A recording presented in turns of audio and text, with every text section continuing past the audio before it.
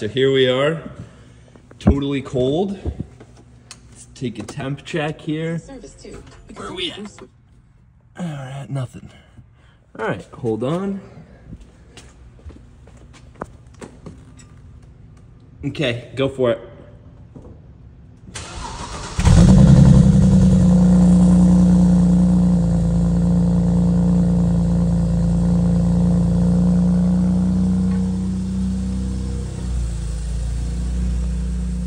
What's that mean? Um, that's the Cruise control? Yeah, but it worked yesterday when I was using it. Hit the button.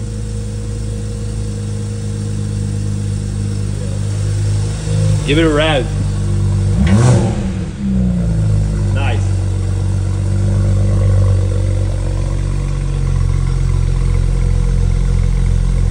Was removed and replaced with uh, 335i dual exit uh, exhaust ports, which looks factory. Uh, if you take a step back, it's really, this is actually one of my favorite parts of the car, uh, having the dual exhaust on the wagon. We also have not seen a lot of people go through the trouble uh, when selling these swap wagons of doing the dual exit exhaust um, modification. Usually it's like a JDM style single tube that's like this big coming out of the rear, uh, which also looks cool, but if you want something that looks really factory, um, you know, this is obviously the choice. This looks like it could have rolled off the BMW assembly line in 2011 um, completely as it sits right now.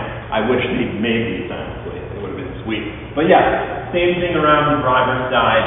Um, no paint imperfections from what I can tell. I mean, obviously we've got swirl marks and whatnot, um, but no chips, no paint missing, no scratches, and uh, yeah, wheels are in great shape. No curving on any of the wheels. I mean, we we do have a tiny bit uh, right here actually. Now that I'm noticing that X Drive stickers, um, and yeah, that's pretty much the uh, the standard E9X E91 uh, station wagon here. I am not a BMW fanatic, but uh, this definitely has, has made me fall in love a little bit more.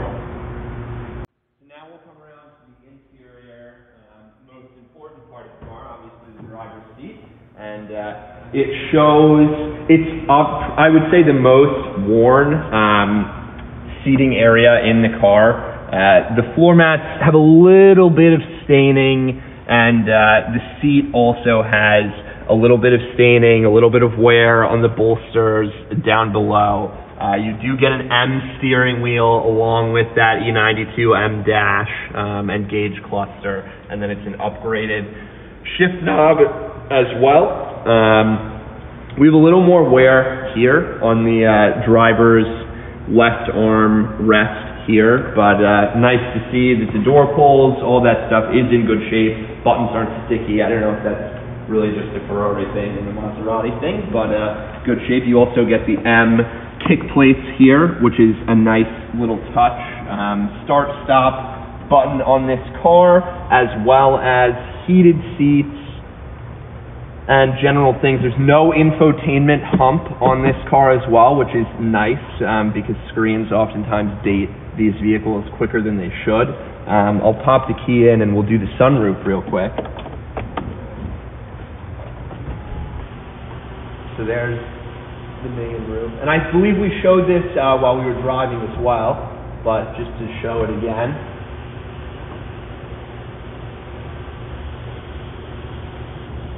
And then we can, boom. Very cool, I love that. So let's head around to the passenger. Or actually, why don't we go counterclockwise? It's got rear driver's side, same thing, very clean, uh, no issues with the leather.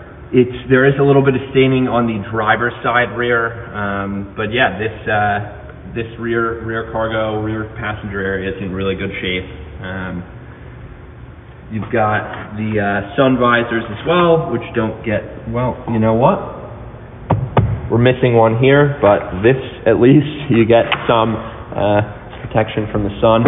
Coming around back another really cool another really cool feature is uh, this rear dual dual opening uh, cargo area, so we can do this, or we can get the full effect.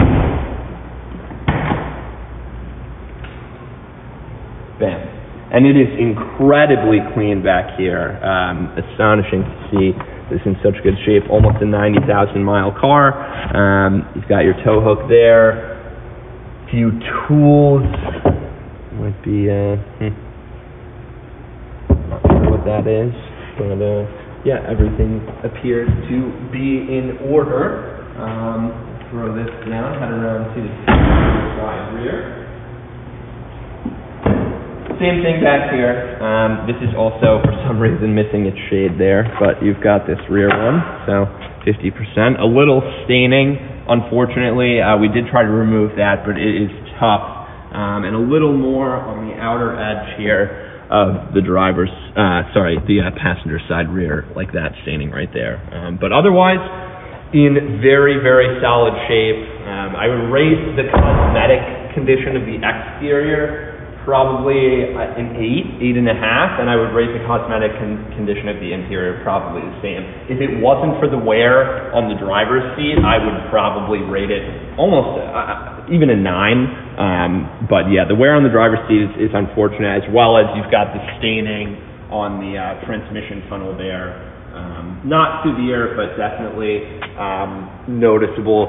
The passenger front seat is in much better shape than the driver. It's really just the driver that has the issue. Um, I will note that this cup holder, classic BMW issue, is stuck. This one does, however, function. Um, and then we've got glove box down here with the original owner's manual three sedan sport wagon right there beautiful. And uh, let's head around to the piece de resistance. Why don't we? Oh, and by the way, it is a heated steering wheel. The button is just right here. Um, but another pretty neat feature. I, I have a feeling this is a cold weather package.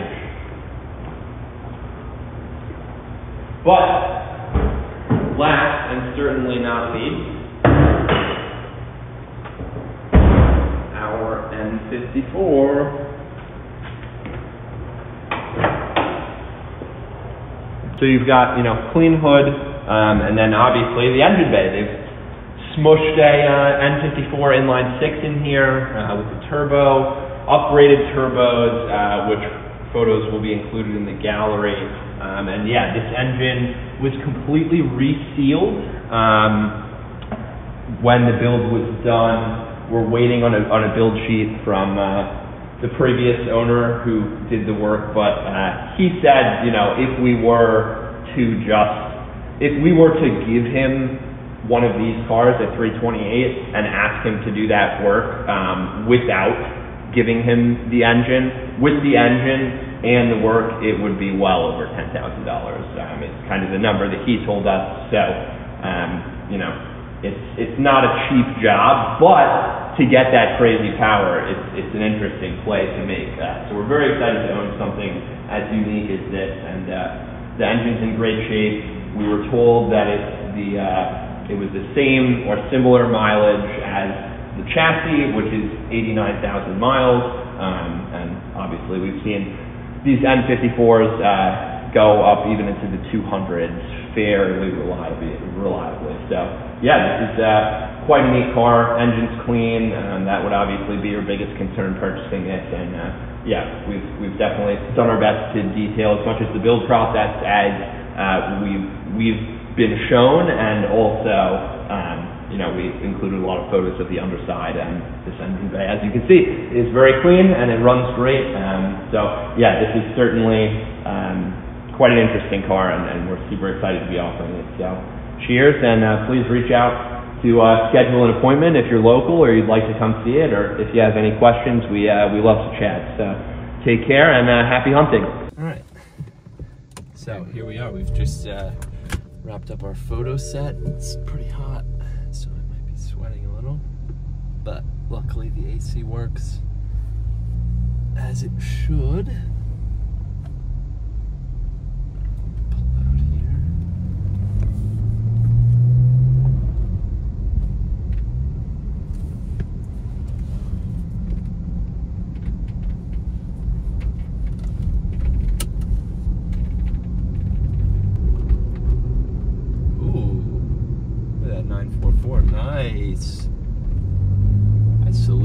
sir.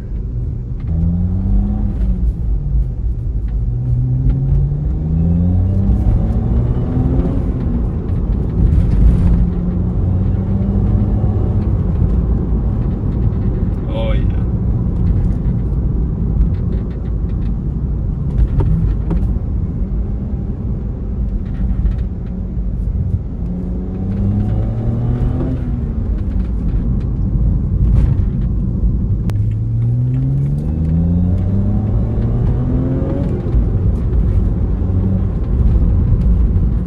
Very nice.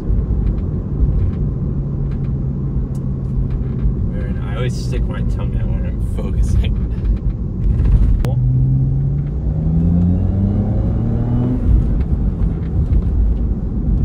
That was 60 real quick. And the turbos just sound like vacuums. It's ridiculous. I love this thing.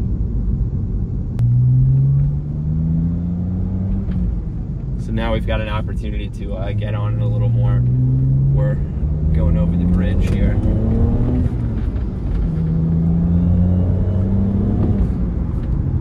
Very quick, very quick, without a doubt.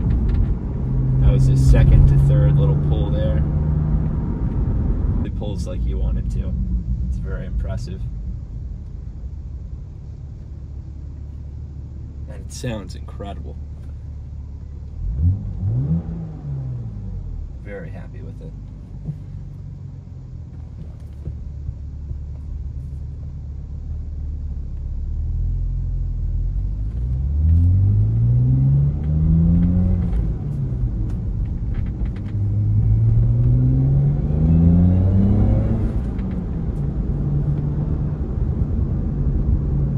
Little bit of a burble when you let off. It's it's definitely uh, it's nice. No, then we can put the partition all the way forward. There we have it. Go back now because that's the way I like it.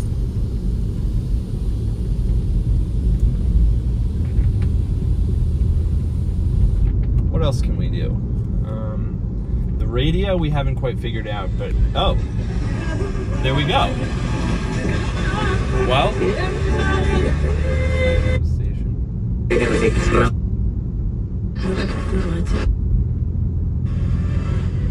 There we go. Radio. And then the AC, as we said, functions as it should. It'll really blow quite cold there. Uh, got it at 60. Yeah, it's doing its job. We are nice This has also got heated seats and um, I don't think a heated steering wheel. does. It does have a heated steering wheel. Okay, look at that. So yeah, and then obviously you've got the the glorious six-speed, um, which is just a blast, and that nice little perforated leather uh, perforated leather shifter there.